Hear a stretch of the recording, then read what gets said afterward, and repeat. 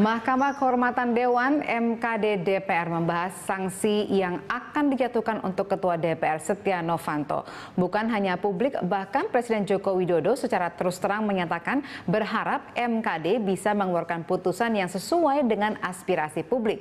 Mampukah Mahkamah Kehormatan Dewan menjaga kehormatan mereka sendiri? Kita akan membahasnya bersama Direktur Eksekutif Lingkar Madani yang juga bergabung dengan tokoh lintas agama Rai Rangkuti dan juga bergabung bersama kita dari Gedung DPR Senayan Jakarta, Ketua Mahkamah Kehormatan Dewan Surahman Hidayat. Selamat malam uh, Pak Surahman, selamat malam Mas Rai sudah malam. bergabung bersama selamat kami. Malam. Terima kasih. Ya, Uh, baik, uh, sebelum kita uh, lanjutkan uh, perbincangan ini, uh, pemirsa, uh, kami akan menyampaikan informasi uh, mengenai uh, apakah uh, sanksi ini akan bisa dikeluarkan sesuai dengan aspirasi publik atau tidak.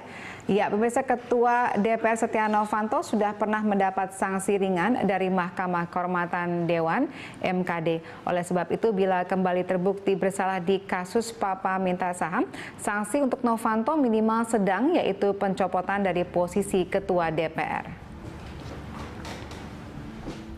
Ketentuan itu tercantum dalam Peraturan DPR RI Nomor 1 2015 tentang Kode Etik. Persisnya adalah di pasal 19, pasal 19 ayat 3. Pelanggaran sedang adalah pelanggaran kode etik dengan kriteria pertama, mengandung pelanggaran hukum. Kedua, mengulangi perbuatannya yang telah dikenai sanksi ringan oleh MKD. Di kasus Trump Gate, Novanto dijatuhi sanksi ringan berupa teguran karena hadir di konvers Donald Trump. Dengan demikian, sanksi itu diakumulasi di putusan Papa minta saham kali ini. Anggota DPR tidak boleh melakukan dua kali pelanggaran ringan. Ya, sanksi dalam penegakan etik di MKD diatur dalam ayat 8 pasal 147 Undang-Undang tentang MPR DPR, DPD dan DPRD atau MD3. Ada tiga jenis sanksi yang bisa dikenakan yaitu ringan, sedang dan berat. Dalam hal teradu terbukti melanggar, putusan disertai dengan sanksi kepada teradu berupa A. Sanksi ringan dengan teguran lisan atau teguran tertulis, B. Sanksi sedang dengan pemindahan keanggotaan pada alat kelengkapan DPR atau pemberhentian dari jabatan pimpinan DPR atau pimpinan alat kelengkapan DPR. Ya dan C, sanksi berat dengan pemberhentian sementara paling singkat tiga bulan atau pemberhentian tetap sebagai anggota DPR.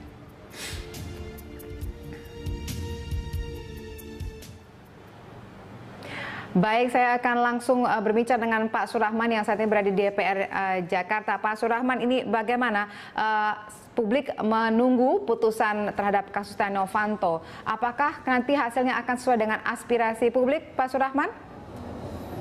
Ya, kita berharap demikian. Jadi tadi malam kita sudah laksanakan rapat internal dan memutuskan beberapa hal Pertama, rapat internal untuk mengambil putusan akan dilakukan selambat-lambatnya hari Kamis dan diusahakan hari Rabu besok. Ya. Lalu? Kemudian kita tidak lagi mengejar-ngejar uh, rekaman yang tidak diberikan oleh Maruf Samsudin itu juga saksi Reza Khalid jadi kita akan bekerja dengan alat bukti yang ada, kemudian untuk uh, menyimpulkan sesuai dengan keyakinan masing-masing hakim MKD secara independen. Nah, tentu saja aspirasi masyarakat itu telah masuk dalam uh, semangat hakim-hakim MKD. Ya, mudah-mudahan ya sesuai dengan hasil analisis dari fakta-fakta di persidangan dan alat-alat bukti yang tersedia. Baik, kalau dari uh, sanksi yang sebelum ini sudah pernah diberikan kepada uh, Setia Novanto dalam kasus Trumpgate dan hanya diberikan sanksi ringan berupa teguran. Nah, apakah dengan kasus sekarang ini yang sudah kita dengar bersama di dalam rekaman tersebut ada suara Setia Novanto yang kemudian uh, di dalamnya uh, didengarkan oleh kita semua meminta saham, apakah kemudian ini akan sanksinya lebih berat atau bagaimana? Ya, ada dua pendekatan. Pertama pendekatan akumulatif ya. Itu tentu saja sanksi yang sudah diberikan sebelumnya itu akan ditambahkan menjadi penambah. Oleh karenanya minimum akan kalau ada pelanggaran itu akan masuk kepada kategori sedang atau eh, sanksi yang memang secara efektif dari perkara sekarang yang sedang diproses kalau mengantarkan pada kesimpulan ada pelanggaran sedang itu juga cukup begitu kan atau juga mungkin bisa diakumulasi sedang plus ringan apabila ada semangat untuk mendorong ke sanksi berat. Oke. Tadi uh, Pak Surahman sempat mengatakan bahwa keputusan akan diambil uh, sesuai dengan keyakinan hakim MKD secara independen. Nah, saya tanyakan kepada Pak Surahman, menurut Anda kasus uh, Setia Novanto yang terkait dengan Donald Trump dengan kasus yang saat ini terjadi, mana yang lebih berat, Pak? Ya, saya tidak boleh berpendapat di sini. Tentu pendapat saya akan disampaikan di rapat internal MKD ya besok sore insya Allah ya. Itu rencananya akan terbuka atau tertutup, Pak? Sesuai dengan Undang-Undang MD 3, rapat MKD dilakukan secara tertutup, tetapi nanti kesimpulannya tentu disampaikan secara terbuka. Oke, nah kalau kita uh, melihat perjalanan sidang uh, yang selama ini berlangsung pernah terbuka terhadap Sudirman Said, kemudian terbuka juga terhadap Maruf Samsudin, tapi kemudian tiba-tiba tertutup setia, terhadap Setia Novanto dan kemudian terbuka lagi kepada uh, Luhut uh, Panjaitan. Nah, uh, kemudian uh, apa yang bisa kita harapkan nanti terjadi di uh, rapat internal? Apakah kemudian akan uh, seperti gambarannya pada saat sedang terhadap Setia Novanto yang tiba-tiba sudah ada hasil di situ yang kemudian publik tidak tahu tapi hasilnya kemudian mengatakan bahwa Setia Novanto menolak semua tudingan dan kemudian hasilnya kita tidak tahu? Ya soal terbuka atau tertutup itu sesuai dengan undang-undang dan tata beracara MKD. Undang-undang MD 3 itu menyebutkan bahwa persidangan di MKD bersifat tertutup titik. Tapi di tata beracara itu diberi ruang. Persidangan di MKD bersifat tertutup dan bisa terbuka apabila diputuskan di dalam sidang.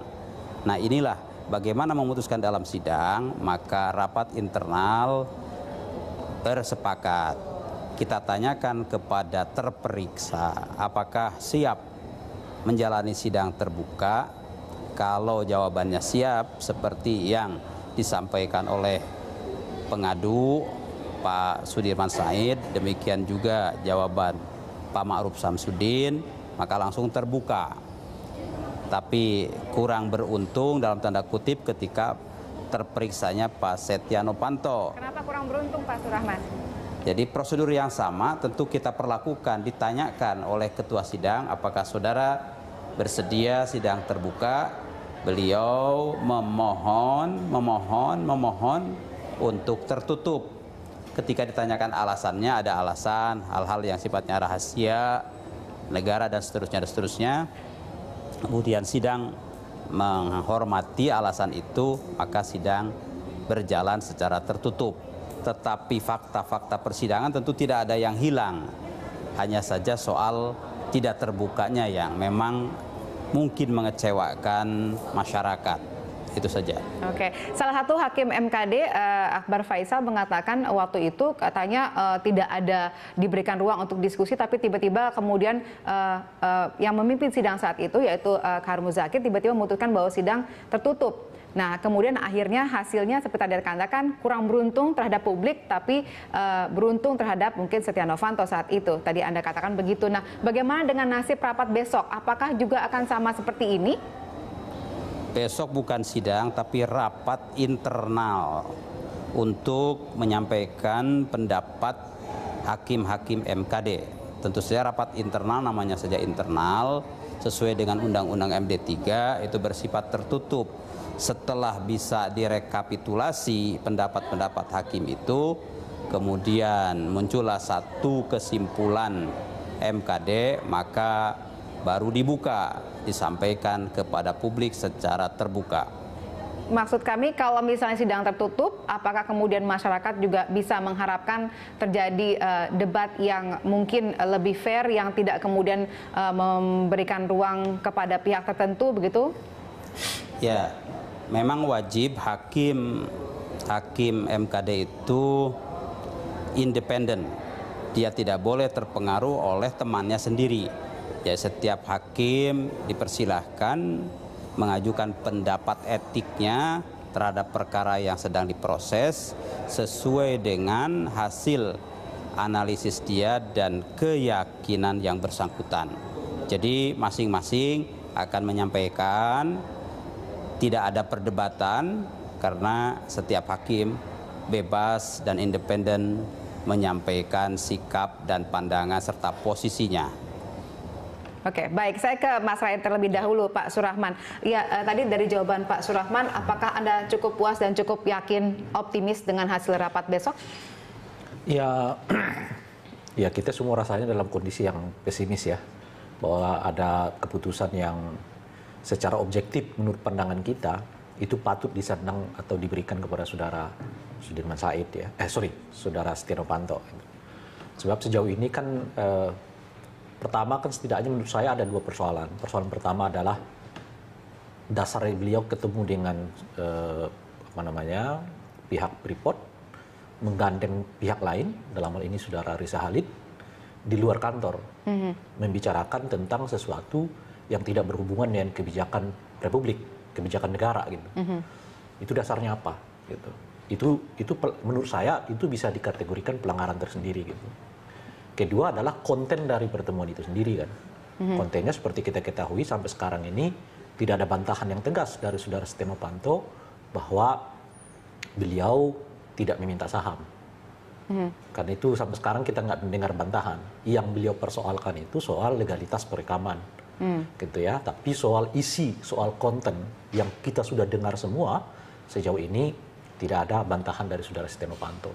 Okay. Jadi kalau dilihat dari konteks ini satu pertemuan yang apa namanya tidak dimaksudkan untuk kepentingan negara dalam kapasitas yang bersangkutan adalah sebagai pimpinan DPR gitu ya, bahkan membicarakan sesuatu yang sebetulnya ditolak oleh negara hmm. itu satu itu nah yang kedua adalah itu tadi bahwa yeah. mereka membicarakan sesuatu yang dianggap tidak berhubungan dengan kebijakan negara bahkan berhubungan okay. dengan kepentingan masing-masing. Kalau gitu. anda pesimis berarti dalam hal ini anda melihat besok mungkin saja nah, tadi kan Pak persoalannya Surahman, begini. sanksinya seperti kan, apa? Makanya kalau ini kan di, kalau mereka berdebat di sini bagi saya sanksi pemecatan itu ringan gitu lah kira-kira tapi tapi kan kalau kemudian dibawa-bawa kan kita belum dapat alat bukti kasetnya hmm. kan kira-kira gitu ya kan itu direkam Ini secara Anda memperkirakan ilegal. argumen yang terjadi. Ya, kira-kira hmm. begitulah. Hmm. Kan itu uh, apa dilakukan secara tidak legal. Jadi perdebatannya jadi yang posisional yang saya sebutkan tadi ya soal apa tujuan dan maksud saudara Setia Novanto bertemu dengan pihak lain yang tidak dalam kapasitas dirinya tapi dia membawa institusi negara membicarakan sesuatu yang bersifat melawan undang-undang kan kira-kira hmm. gitu ya. Nah, diturunkan nanti dengan soal mana legalitasnya, mana legalitas si pengadu, okay. mana kemudian kaset rekamannya mana. Padahal kan kaset rekamannya nggak pernah dibantah bahwa barang bukti di mana kaset itu merekamnya belum diserahkan, itu betul. Tapi sejauh ini tidak ada pihak mana pun yang mengatakan bahwa uh, uh, isi rekaman itu bukan dia okay. dan sebagainya. Yeah.